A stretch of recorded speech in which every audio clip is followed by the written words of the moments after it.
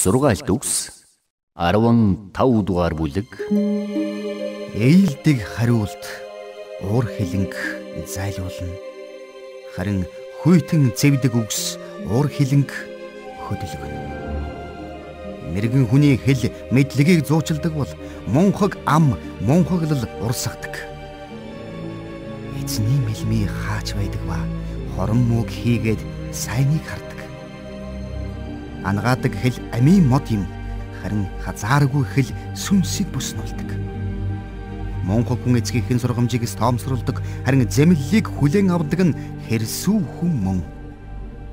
Шудраг зөв хүний герт үлэмжих баялаг байдаг. Харин хорон санаатны орлого гай зовлон билээ.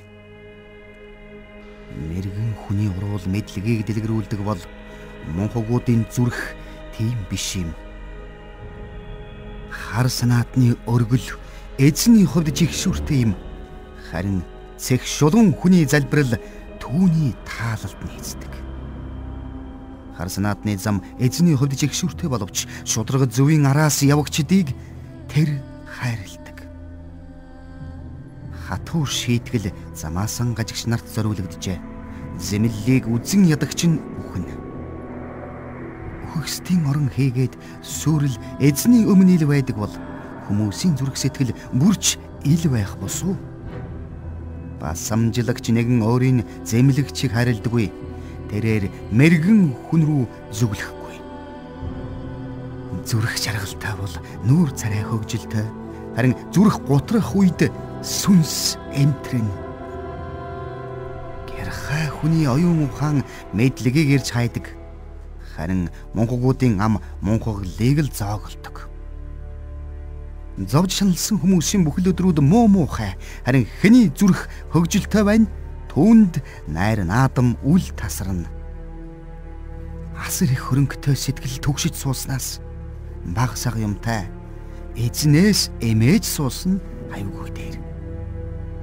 Үзээ ядалтаар бордсон тарган шарын махнаас хайр буу газрын өвсөн хоолн дээр. Хурцсантай хүн хэрвэлийг өдөөдөг бол уурлагтаа удаан хүн хэрвэл маргааныг намжаадаг. Залхуугийн зам үүргэнэн хашаамэ таж. Шудраг хүмүүсийн зам шулуун аж. Мэргэн хүү эцгийгээ баярлуулдаг. Харин мунхаг хүн эхийгээ басамжилдаг. Ухаанаар тарчиг хүнд мунхаг үйл үлдэх нь баяр хөөр болдог бол харагч хүн зих замаар явдаг.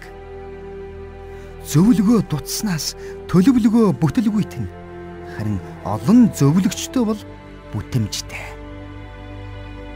Оновчтой хариулт хүнийг баяртай болгодог. Цагаа олсон үг юутай сайхан бэ? Амийн зам мэрэгэн хүнийг дээшээ дагуулдгийн. Энэ нь түүнийг доор буй өөхөксдийн орноос хол явуулахын тулд юм. Эзэн бардам хүний гэрээг нураана. Харин мэлэвсэн эмэгтэйн хил хязгаарыг тэр тогтоож өгнө. Хорон муу төлөвлөгөөнүүд эзний хувьд жигшүүртэй бол зөв үгс түүнд тааламжтай. Хууль бусаар ашиг олдог нэгэн гэр бүлдэн гай зовлон авчирдаг. Харин хээл хахуулыг үцэн ядагч нь амьтай. Шудраг зөв хүний зүрх яаж хариулах нь цагиндаг харин хар санаатай хүний ам хорон муугар бөөлж байна. Эзэн хар санаатнаас хол байдаг атлан шудраг зөв хүний залбирлыг сонсдог. Дулаахан харц зүрхийг баярлуулдаг. Сайн мэдээ ясанд эм болдог. Хэний чих ам өгөгч зэмлэлийг сонсно. Тэр хүн мэрэгдийн дунд амьдрана хэн сахилгыг үл оошоно тэр өөрийгөө нь жигшиж байгаа хэрэг. Харин зэмлэлийг сонсдог хүн ухааныг олж авна. Эзнээс эмээ хүн хүнд мэрэгэн ухааныг сургадаг. Даруу зан нь алдар хүндийн өмнө ирнэ.